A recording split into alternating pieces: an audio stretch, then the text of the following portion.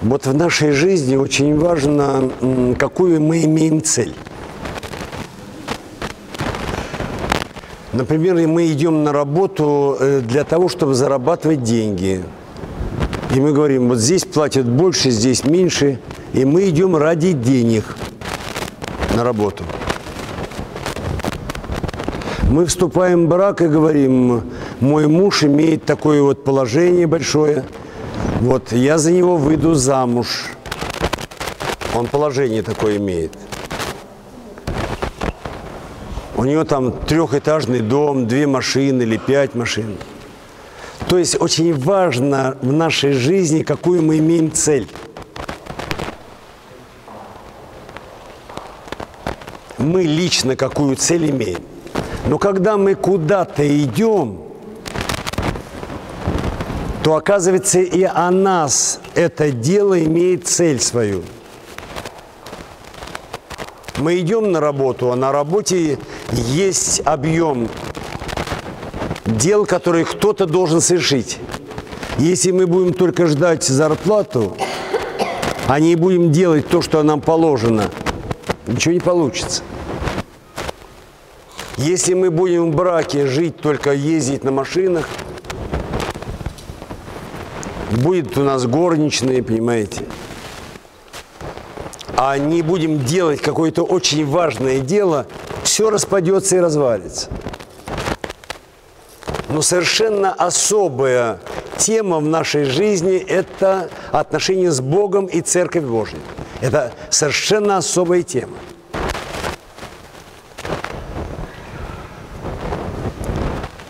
Как мы приходим в церковь сегодня? Нас приводит в церковь проблема.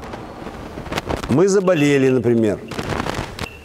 Нет работы, у кого-то нет жениха, у кого-то напряжение в брачной жизни. Мы всех обошли, у всех все спросили, со всеми посоветовались, нас что-то не устраивает. И тогда мы приходим в храм. Храм – дом молитвы, храм – дом молитвы. Это еще преддверие церкви, это еще не церковь. И когда мы приходим в храм, что мы здесь видим в каждом храме? Мы видим иконы. Но нас это сейчас не интересует. У нас проблема. Нам нужно разрешить проблему. Наша цель прихода в храм – разрешить проблему. И мы э, спрашиваем, вот смотрите, вот э, кому мне обратиться здесь, чтобы разрешить проблему? Смотрите, у нас даже нет понимания, что мы пришли к Богу, что храм – дом молитвы, молитва – беседа с Богом. У нас нет этого. Мы ищем, как разрешить проблему.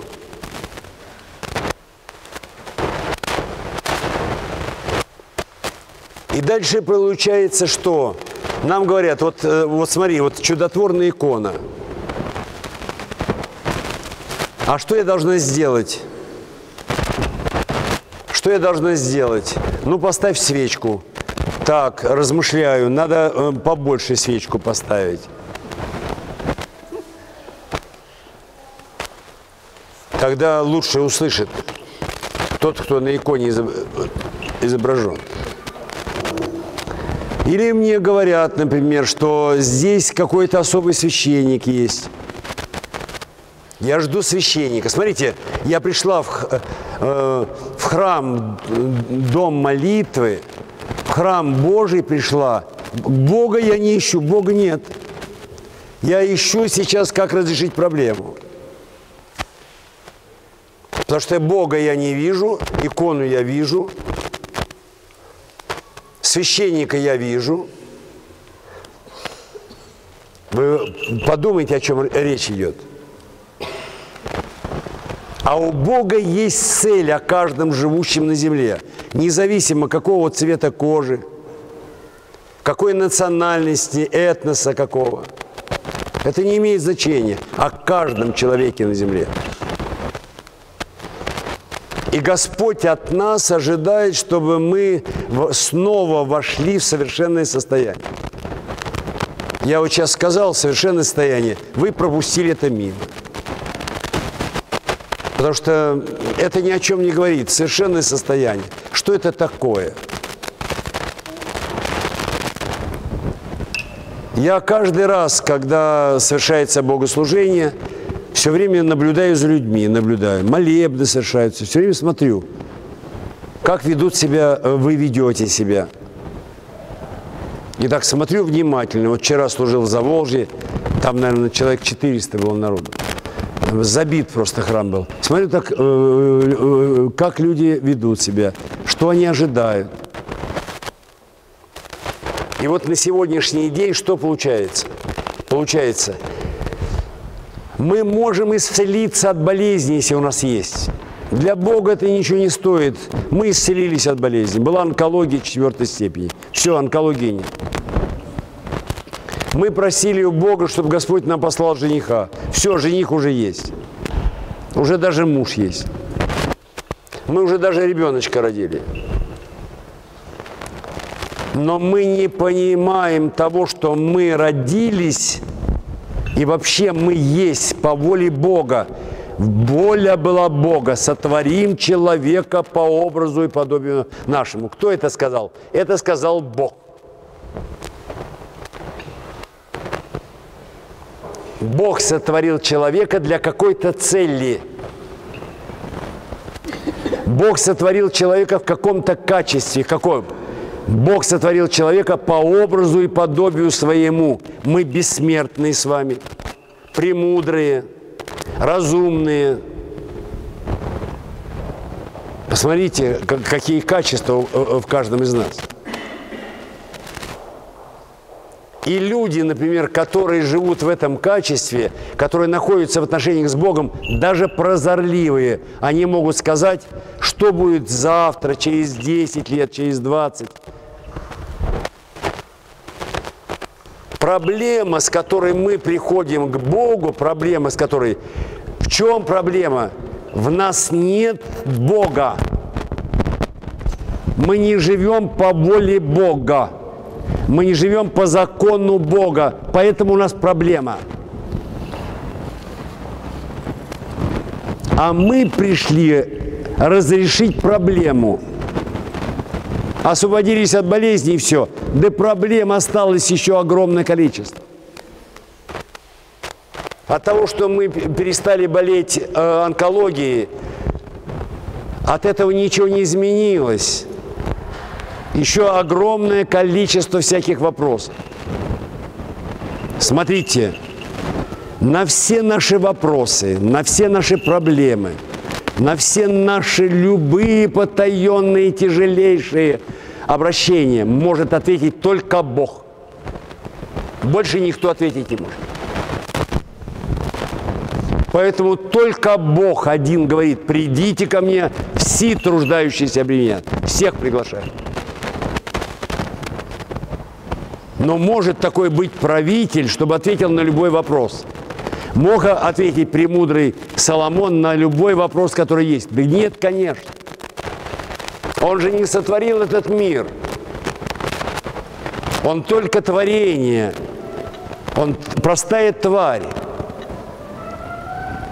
Значит, тот, кто сотворил этот дом, который мы называем живая планета Земля, только тот может ответить на все наши вопросы. Мы очень небрежно относимся вот к этой теме. Я часто разговариваю с людьми и говорю, вот смотри, какая молитва есть. И читаю молитву какую-то. Наизусть, естественно. А человек говорит, а где такую молитву вы, взяли? Где вы такую? Я говорю, это вот четвертая молитва в утренних молитвах. А он всю жизнь читает, он всю жизнь читает. Он читает всю жизнь молитвы. А он не, не понимает, что он читает, он не понимает, что он читает. Он их просто читает. А молитва, надо молиться. Молитва – это беседа с ангелами, с Божьей Матерью, с Господом, со святыми. Это обращение, это беседа с ними. А он просто читает молитвы. А эти молитвы кто-то написал, например, Василий Великий, Иоанн Золотой. Я прочитал, все прочитал. Жил монах в них, он имел много книг, спал на них и не знал, что в них. Поэтому речь идет о чем? Наша жизнь сегодня не складывается, потому что мы с вами не понимаем этой жизни. Мы ее не, не то, что не понимаем, мы ее не знаем. Нам родители не дали то, что они должны были дать. Воспитатели в детских садах, в школе. А им, этим учителям, этим воспитателям, этим родителям, их родители не дали, их учителя не дали. Сегодня наши проблемы в России не потому, что у нас нет воды, не потому, что у нас нет нефти, газа, не потому, что у нас нет золота, алмазов, а потому что мы не знаем, что с этим делать. Мы не знаем вообще, что делать. Как жить на земле, мы не знаем. Мы не умеем жить совершенно. Болеем, мы не умеем есть, понимаете. Ведь что такое еда? Это же такая экстремальная ситуация, когда я ем. Что я ем? Когда я ем? Да в это время нельзя есть. А зачем ты ешь? Что ты ешь? Для какой цели ты столько ешь? Вот я в своей жизни все попробовал. Не ел, совсем не ел. По 10, по 12, по 15 дней. Вообще не ел. Не пил воды там 6 дней, допустим. 45 лет не ем мясо, ничего не происходит. Один раз в день ем. Сейчас уже не ем первое, уже не ем его. Э, все переваренное, вареное, бестолковка всякая. Уже не ем это все. Что я только в жизни не попробовал, все. Но я пробую, я ищу, как можно. Все одинаково.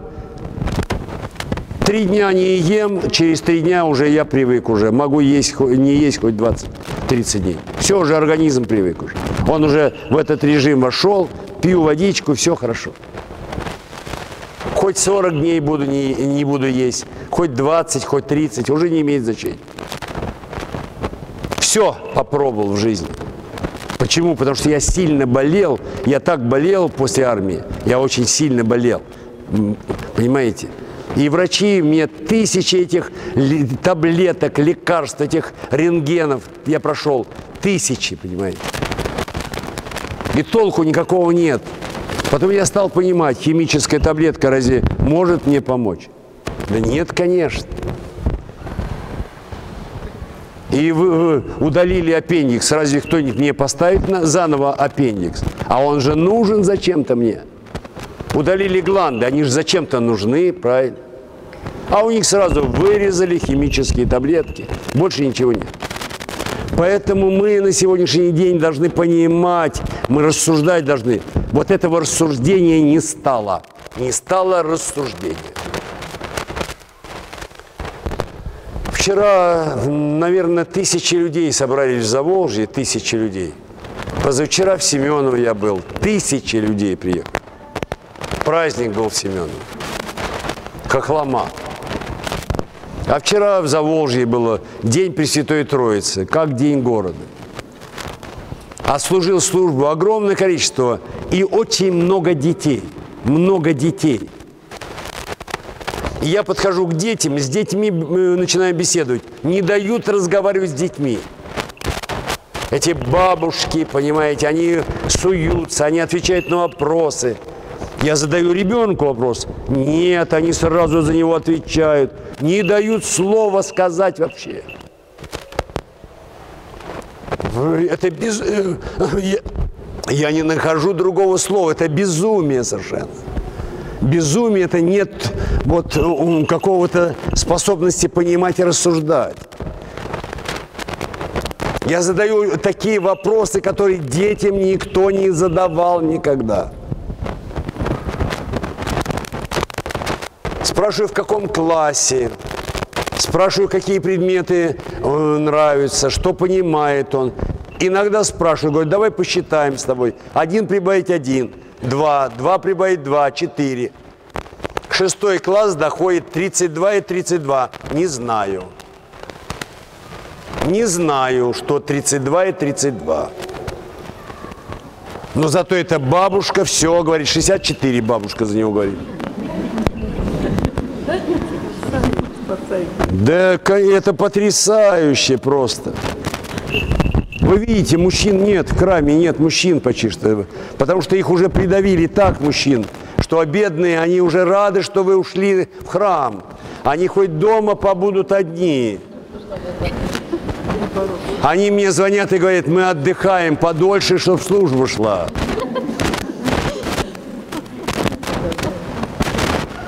Вот о чем разговор. Да. Я же вам говорил уже, когда зимой начинается у нас лов, лов начинается зимой, замерзает. Я хожу к рыбакам и говорю, ребята, ну что вы здесь отмораживаете почки? Они говорят, лучше почки отморозим, чем пила пилит с утра до вечера. Понимаете?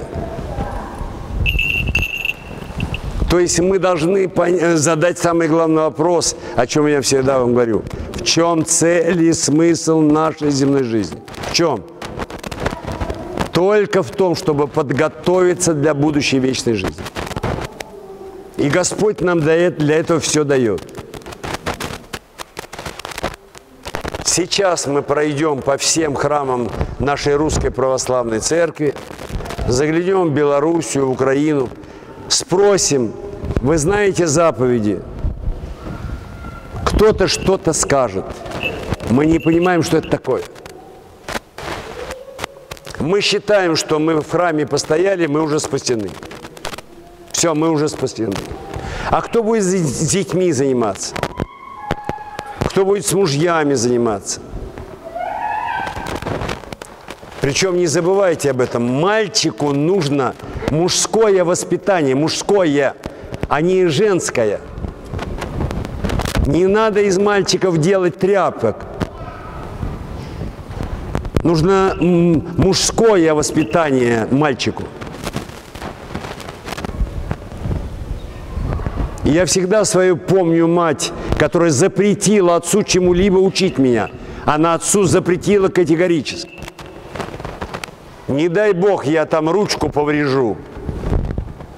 Или током меня стукнет. Отец меня мог бы научить всему буквально. Отец все умел. Талантливейший человек был, понимаете? Чистый, никогда не выругается. В жизни никогда не попробовал даже покурить. Прошел войну. Но она ему запретила категорически, чтобы ничему не учить. Поэтому на сегодняшний день с чего нужно начать? Чего нужно? Возьмите, почитайте Нагорную проповедь Господа Матфей.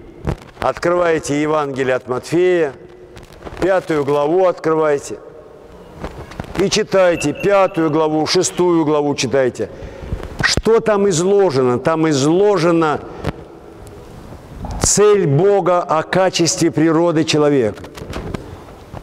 Мы должны задать вопрос, Господи, какими Ты хочешь нас видеть? Не такие, как мы есть, мы больные. Почему мы больные? Да мы неправильно живем. Почему наши браки не сложились как надо? Да потому что мы вышли не за тех людей, за кого надо выходить. Мой муж пьет. Скажи, пожалуйста, отец твоего мужа пьет, он алкоголик, умер от алкоголя. Зачем ты выходила за него замуж? Зачем ты замуж вышла за него? А дед, где его? А дед тоже умер от алкоголя. Зачем ты третье поколение алкоголиков? Я думала, что я его исправлю. Я говорю, ты сама быстрее станешь пить, чем ты его исправишь.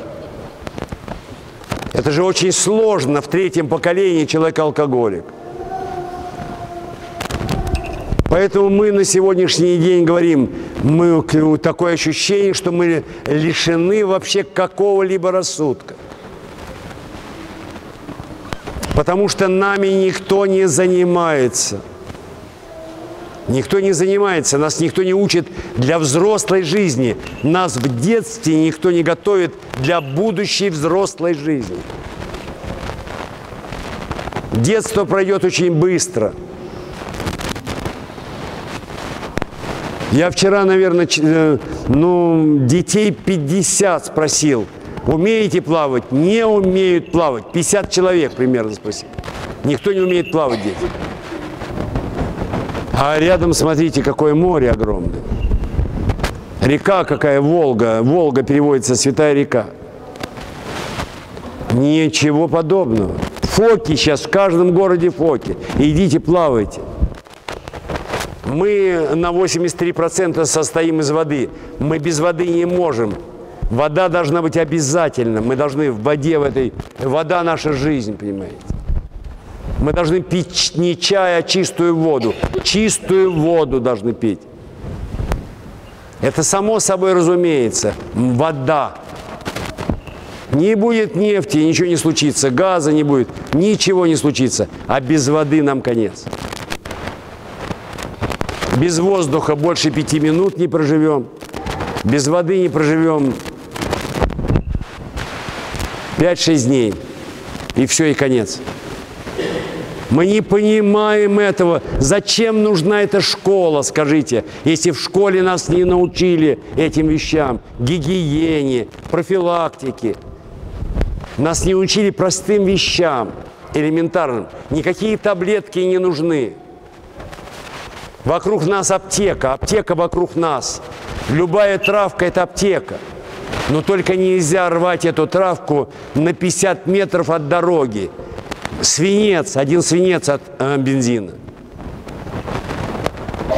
Но коровки ходят вдоль дорог, пасутся, козочки вдоль дорог. Потом мы молочко это пьем, понимаете. Мы ничего не понимаем. Зачем мы учили химию? Зачем мы учили биологию? Зачем мы учили физику? Зачем мы это учили? Но тема главная, пришли мы в Богу или не пришли, это главная тема. Посмотрите, какая интересная мысль. Как я вам сказал уже вчера, сотни людей были в храме. Большой храм, без колонн, свободное пространство. Больше нашего храма, больше нашего. У нас умещается 50, 500 человек. Все, храм. Смотрите, служба началась в 8 часов утра. И в это же время начинает формироваться ярмарка. Заволжье 38 тысяч жителей.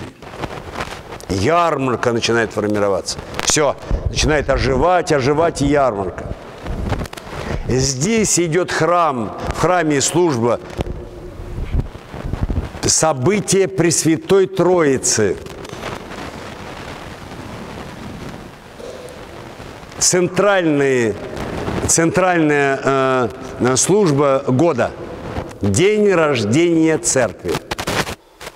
Христос вознесся, Дух Святой сошел на апостолов. Все, вот если мы берем весь год, центральное событие – день рождения церкви.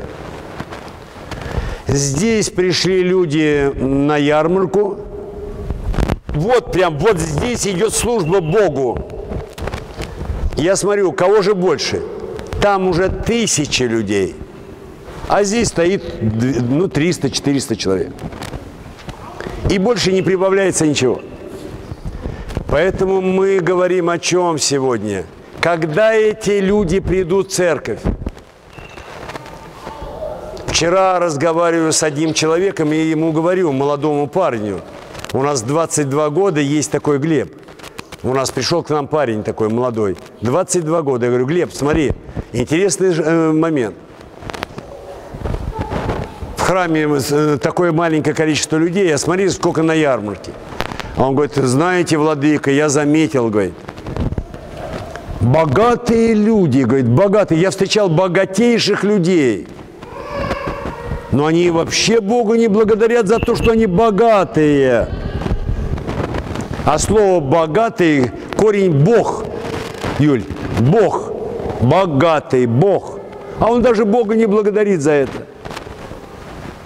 Когда он придет в церковь, когда его прихватит. Когда или принесут, или принесут. Вы понимаете, вот где весь, э, весь вопрос. Смотрите, я вам э, еще открываю тайну. Вчера, э, не вчера, позавчера приезжаю на службу. Приезжаю на службу, на вечернюю. Здесь я служил позавчера всеночное бдение.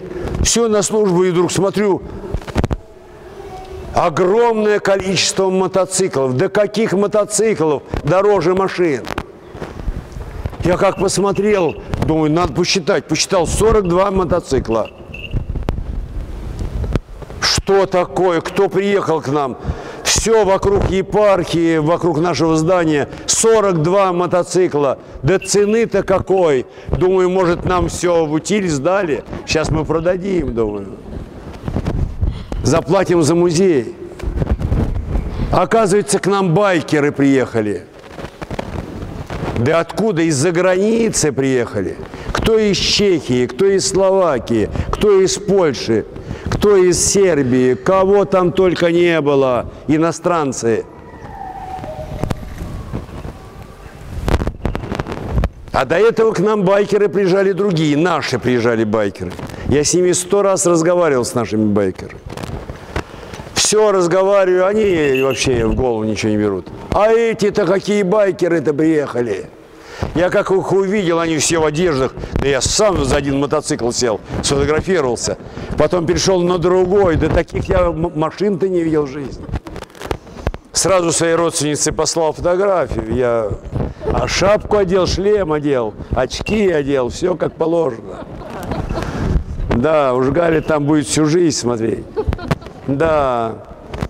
И вдруг они сами появляются, здоровые, здоровяки, все, все в кожаных одеждах, все в, перчатках там, все, да, здоровые такие.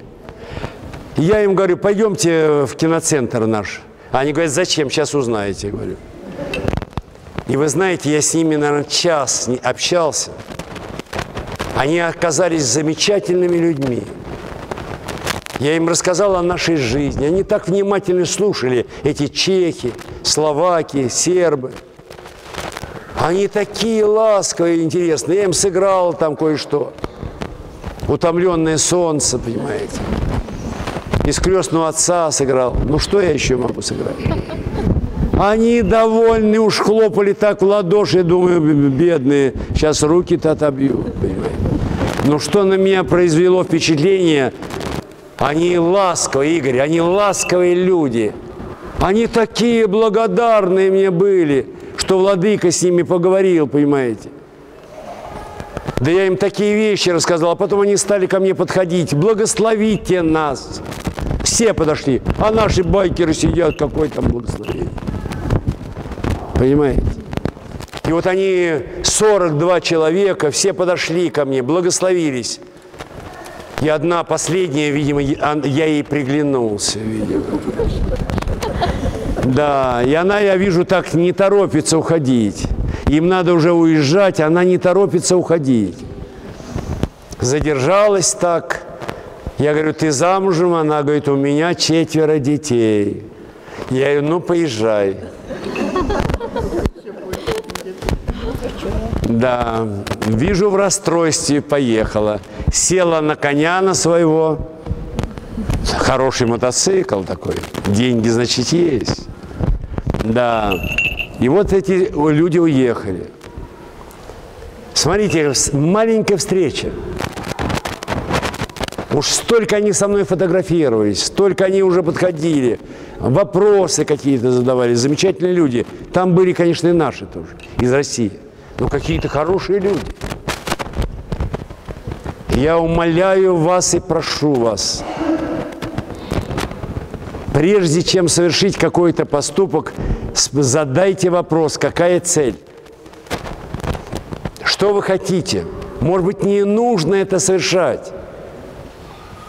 Если вы даже чувствуете, что вы заболели, не торопитесь употреблять лекарства, не торопитесь, не спешите. Иногда нужно просто лечь и полежать. Иногда нужно перестать есть, только пить воду, например. И болезнь уйдет. Не спешите. Особенно самое главное, не спешите вступать в брак. Смотрите, вчера подхожу, огромное количество людей стоит, стоит девочка маленькая. Ну, наверное, там класс третий, четвертый. Ну, что может ей владыка сказать? Спрашиваю ее, скажи, как тебя звать? Ну, она там сказала как-то, Нина, там, Маша. Нина, что самое главное в твоей жизни? Бабушка сразу ушки на макушке. Все, ага. Да. Потом она задумалась, эта девочка задумалась. Бабушка говорит, ну я тебе говорила много раз, самое главное, что учеба главное, учеба главное. Я молчу. Еще раз повторяю, ну что самое главное в твоей жизни, говорю, Нина? Она чувствует, что вопрос непростой. Сказать как бабушка, надо сказать как бабушка. А все, все слушают, сто человек, все, все слушают. Что же я сейчас скажу? Вы даже не догадаетесь. И вдруг она говорит, все, я не знаю что. Я говорю, самое главное в твоей жизни хорошо выйти замуж. Бабушка сразу закрыла ротик.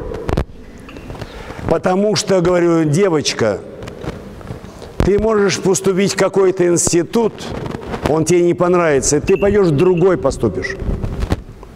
Тебе не нравится твоя специальность, профессия, ты переменишь. Тебе не нравится жить в городце, поедешь жить в Заволжье. В Заволжье не нравится, поедешь в Шарангу. Но когда твоя жизнь не сложится брачная, все разрушится. И тогда ты поймешь, что это невосстановимо. Я помню, я уже пришел в церковь, был молодой человек. И как-то однажды я встретился, не встретился, а просто познакомился с одной молодой женщиной. И что она мне сказала, я на всю жизнь запомнила. Она замужем была, у нее дети. Мы познакомились в церкви. И она мне сказала, я еще был гражданский человек. Она говорит, знаешь, говорит, я, говорит, когда потеряла девственность, я сказала, Господи, я же никогда больше это не верну в жизни. Представляете себе? Я никогда это в жизни не верну. И вдруг я, говорит, поняла, что я что-то потеряла очень драгоценное. Представляете? Первый, единственный раз в жизни я встретил человека, который вот так мне сказал. Мы не задумываемся совершенно ни о чем. Поэтому я прошу вас Возьмите и целую неделю, целую неделю, вот всю неделю. Если вам не нравится слово «целую», всю неделю. Если не нравится всю полную неделю. Еще точнее, вы не поймете, а то скажете, неделя – это один день только воскресенье, когда ничего не надо делать. Всю седмицу, все семь дней – Каждый день читайте вот эту пятую и шестую главу Евангелия от Матфея. И вы увидите в Нагорной проповеди, Господь излагает, какими Он нас хочет видеть. Все прописано. Почитайте раз, десять, двадцать, тридцать, сорок раз. Второе, что почитайте, в это же время почитайте заповеди блаженства. И самое главное, заповеди страшного суда. Что такое заповеди страшного суда? Это то, за что мы будем судимы.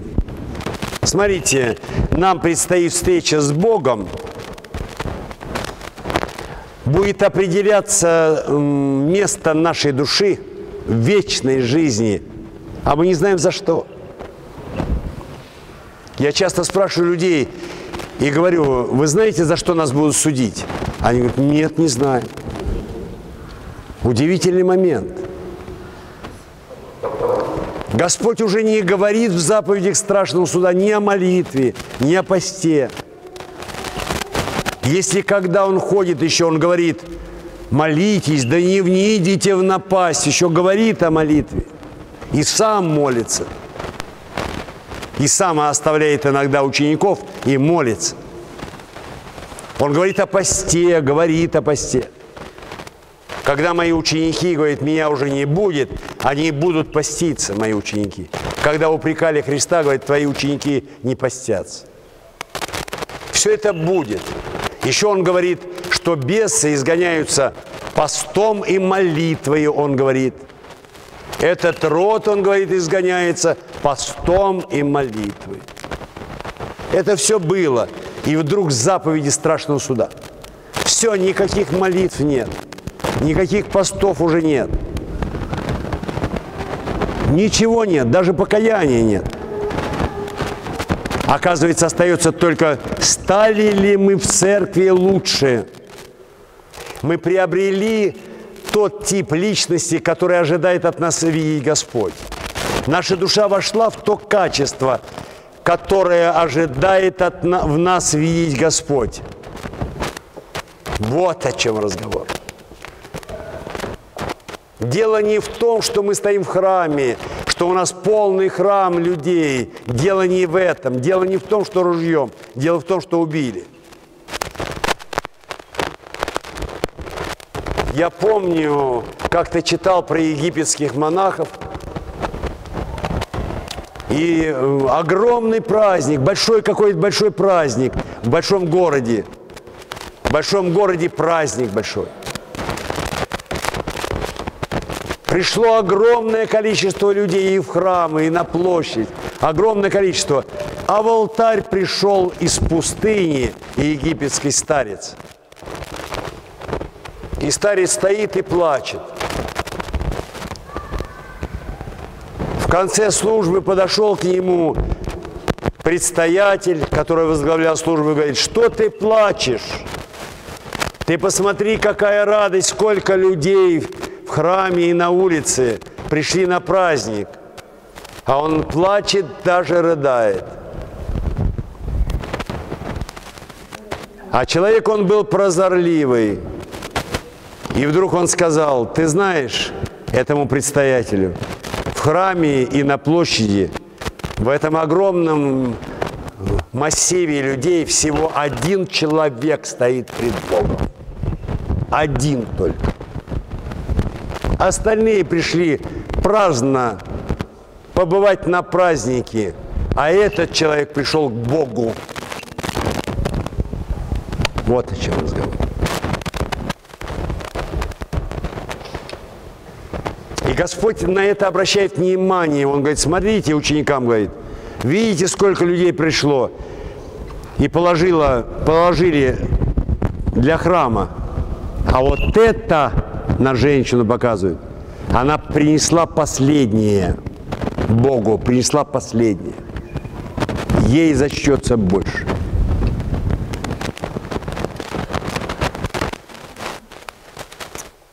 Я вас очень люблю, знаете от чего? Что вы мне стали очень близкие и дорогие. Знаете чем? Что вы стали уже много размышлять. Я каждый раз смотрю в ваши глаза – и думаю, Господи, какой я счастливый человек, что сегодня я могу побеседовать с людьми, которые уже имеют другие глаза, не те, что были 10 лет назад. Вы знаете, когда восьмой урок, восьмой урок в школе, один уже только смотрит на учительницу. Он стоит вот так, сидит и смотрит на учительницу. А учительница говорит, какой Коля все-таки хороший. А Коля думает, когда это все закончится? Вы знаете, я вам открою тайну сегодня, как родным и близким. Я сегодня думал, не дойду до храма. Вы заметили, да? У меня ни голоса не было. Да. Я вчера до глубокой ночи беседовал с татарином, приехал из Казани человек такого знатного рода, специально приехал. Я его исповедовал. Да, и вот я с ним э, беседовал так долго. Потом пошел, проводил его, и он 8 часов надо ехать до Казани. Провел его до машины. Да. И вы знаете, так дал сегодня в 3 часа ночи проснулся, все, не могу сомкнуть глаз, да, глаз. Душу вынули, просто вот вынули душу. Как будто нет души. Я сегодня зашел, думаю, Господи, такого представить даже я не мог. Я, я не могу представить себе. Я говорю, Господи, наверное, мне надо уйти просто, вообще уйти. Да, просто вот прямо увидел вот эту ад, этот увидел ад, понимаете. Бесня, видимо, напала, чтобы занимался только своими. Но я думаю, что он уже в следующий раз приедет, уже, наверное, покрестится. Потому что он в таком, он человек ученый, человек ученый, понимаете. Очень образованный человек, красивый очень человек, очень, в возрасте таком. Удивительный человек совершенно. Я его никогда в жизни не забуду. Он просто удивительный человек. И вот я хочу вам напомнить о том, что попасть в Царство Божие, дойти до Царства Божьего, это не так все просто.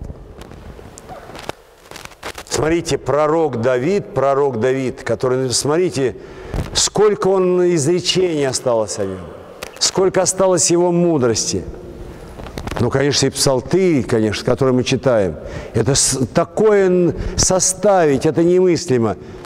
И вдруг он нам говорит, там будет плач и скрежет зубов. Что он должен был пережить? Видимо, он пережил это и понял, что такое вечная жизнь и что такое маленькая, коротенькая жизнь. Что это такое?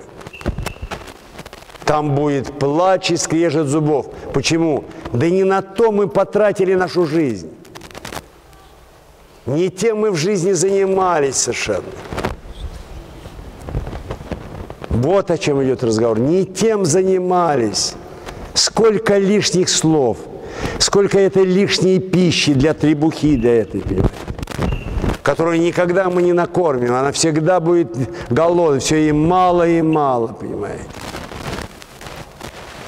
Но сегодня мы уже с вами совершили один удивительный шаг, мы удивительные действия совершили. Мы вошли уже в храм Божий. Мы уже совершили. Теперь нам нужно что-то понять. Вот если мы не поймем чего-то, там будет плач и скрежет зубов. Если мы не поймем, что такое брак, как мы должны в браке вести, там будет плач и скрежет зубов.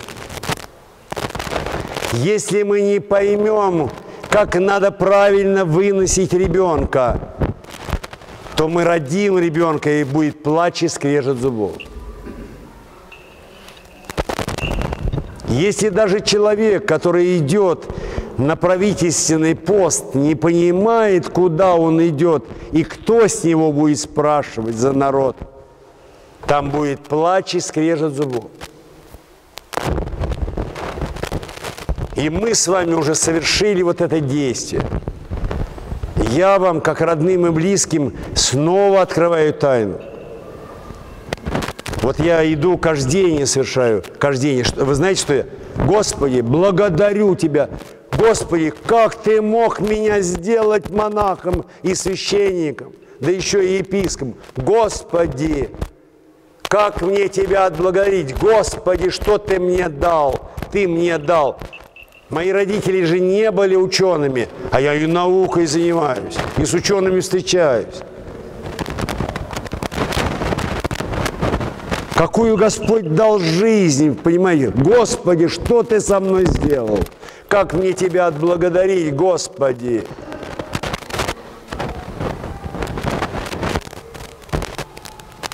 Поэтому сегодня я умоляю и прошу вас, благодарите Бога, что Господь нас привел в свою церковь. Всех простите, всех простите. Это так сложно бывает, так бывает сложно.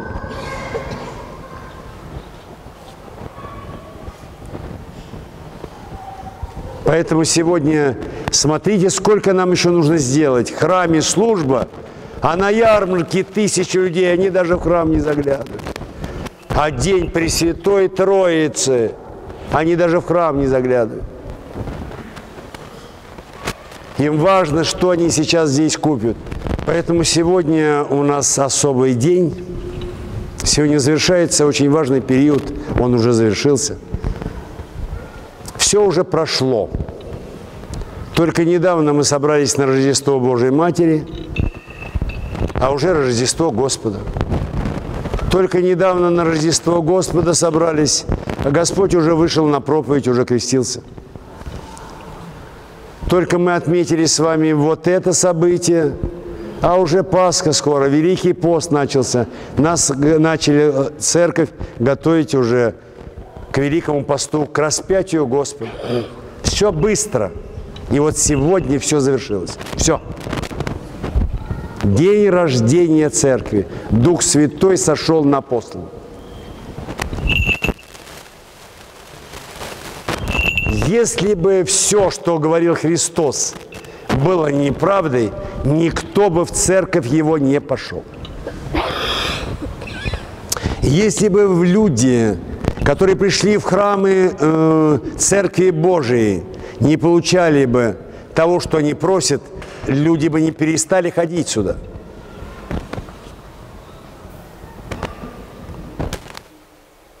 Если бы через Церковь Божию не, по, не, по, не появилось, не родилось столько святых, да мы не верили бы ничему. Посмотрите, сколько сект сегодня. Туда ходят люди, нет святых. Они читают Евангелие, Библию читают, а святых нет. А наша церковь – церковь святых – И Господь от каждого из нас ожидает не просто стояние в храме, а чтобы мы стали святыми. Когда мы стоим в храме, внимательно слушайте, что поют. Внимательно обращайте внимание даже на возглас.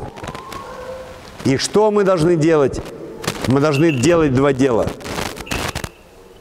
Мы должны молить, э, просить Бога о прощении, кто уже ушел из жизни – и второе, от тех, кто и живет с нами. Не набирайте на себя лишнего, лишнего не набирайте. Нам бы вымолить хотя бы наших близких. Детей, внуков, мужей, жен, хотя бы близких. Жена Федора Михайловича Достоевского, которая имела эпилепсию, еще и играл в карты. Игрок был. Он даже роман написал «Игрок». Анна Григорьевна, его супруга, она свою жизнь положила на него. И когда он каждый раз проигрывал, не только в России, но и за границей, куда он ездил специально играть, он придет к ней, все проиграл, все. На колени, Анечка, милая Анечка, Аня, я знаю, сейчас все верну. Она никогда его не упрекнула. Она понимала, что это болезнь. Она снимала свои драгоценности. Феденька, не волнуйся, Феденька, все будет хорошо, Феденька. И однажды этот Феденька проснулся, и отошла от него эпилепсия, отошла и э, страсть к игре. А может быть, не страсть, а порог – и началась другая жизнь у этого Феденьки. И сам Феденька, когда входил в храм, он даже никогда не стоял, как мы стоял, стоим. Он стоял на коленях. Он на колени становился. Потому что он знал вину свою перед Богом. Хотел революцию совершить и убить царя. И когда он осознал, что он хотел сделать, за что ему дана эта болезнь, он стоял в, храме, в храмах только на коленях, просил Бога. Он как пророк, один из наших пророков. Иоанн Кронштадтский, который все предсказал и революцию, и бедствие. И Федор Михайлович Достоевский. Вот какая жена должна быть.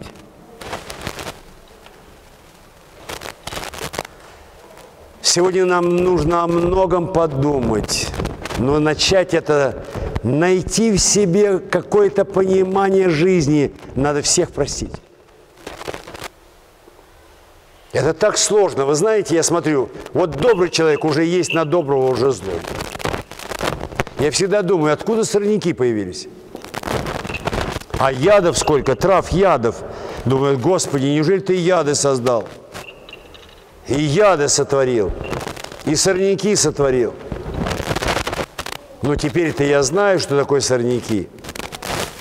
Если бы сейчас вы все одуванчики сорвали у себя на огороде с корнями, бросили бы в бочку, налили бы полную бочку воды и все сорняки, все одуванчики туда бросили, да лучше нет пищи для помидор ваших огурцов. Вот такие будут помидоры. И мы со мной бы поделились. А сейчас у вас вырастут вот такие, понятно что. Поэтому поливаете вот этим помидорчик. Это же так хорошо. Иногда мы заболеваем такими болезнями, что нам нужны сильные даже вот эти вот сорняки. У меня есть книга «Сорняки», как лечебные средства. Надо их разбирать. Пока вы э, телевизор смотрите, а я книжки читаю в это время, чтобы вам потом что-то рассказать. Когда вы подходите и говорите, Владыка, помолитесь за моего внука. Я говорю, отдыхайте, я помолюсь, конечно, а вы отдыхайте. Вам не надо, зачем вам утруждаться? Отдыхайте. Он как Наталья Арсеньевна, отдыхает, она устала. Она уже 45 лет работает экономистом, бухгалтером, она устала, она сидит устала. Видите, уже она устала. А я стою, в три часа проснулся, ничего, не устал. Она устала. Поэтому мы с вами сегодня вот в каком мире живем. Я хочу пробудить вас к тому, чтобы вы начали размышлять. Господь нам дал способность рассуждать. Господь нам дал способность понимать. Вот в чем вопрос. Вот это очень важно. Ну и последнее скажу. Скоро все-таки я открою женский монастырь и всех вас в монастырь. И мы с вами будем день и ночь размышлять. Сидеть будем и размышлять. Телевизор смотреть не будем, интернет не будем. Я даже не знаю, как включается компьютер. Но будем размышлять все время. Так что готовьтесь. Такая радость, что мы встретились в этой жизни. Спаси вас, Господь. Желаю вам радоваться. И помните, пища, которую мы едим, она тоже нам дает энергию. Но Дух Святой, который обещал Христос послать ученикам и сказал, я если не уйду к Отцу своему, то Дух Утешитель не придет, не придет Дух Утешитель. Вот что важно. Ни о воде не говорит, ни о воздухе не говорит, ни о пище не говорит. Господь говорит о Духе Святом. Дух утешитель, Он говорит. И когда сегодня я причастился, смотрю, все вернулось назад. И все опять стало в хорошем состоянии. После причастия. Нет высшей пищи причастия. Нет высшего действия, чем исповедь и покаяние. Нет высшей радости, кроме беседы с Богом. Когда мы с вами молимся, вы знаете, начинаем молиться, все уже не хочется не видеть мира, не слышать его. День и ночь бы беседовал, но телефон напоминает. Вы уже заметили, как только хотите помолиться, кто-то придет. В это обязательно время кто-то придет. Ведь не приходила эта соседка 20 лет, а сегодня пришла. Поэтому сегодня я умоляю вас, рассуждайте. Мы, мы находимся, видимо, в святом месте. Вы знаете, я не ожидал, 250 инвалидов привезли. Вы знаете, несколько дней назад, да? Позавчера. 250 инвалидов со всей России. И они здесь почувствовали, многие из них сказали, они сели в автобус, а потом мне позвонил человек, который их сопровождает, и сказал, вы знаете, со многими произошло нечто. Кто плакал, говорит, кто радовался. И они говорят, я говорит, ничего не пойму, говорит, из меня льются слезы. Другой говорит, радость захватила полностью меня. Я не понимаю, что это за радость. Какое место интересное. Но открою вам тайну, это ваши молитвы. Это ваши молитвы, ваши слезки. Ваше доверие Господу, Божьей Матери. Замечательно. Мы намоли, на, на, намаливаем это место, которое когда-то было колонией, которое было психушкой, здесь была больница водников, а сегодня здесь храм, слава Богу, и монастырище. У нас чистые, хорошие монахи наши. Я вас за все благодарю, и как хорошо сегодня мы все оставили, пришли в храм.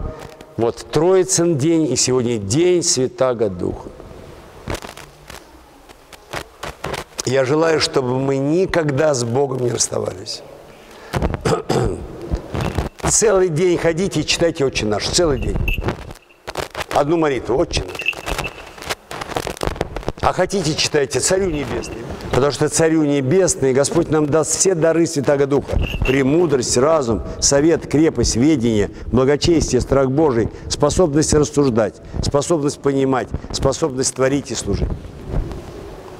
Поэтому я прошу вас, читайте день и ночь Царю Небесный.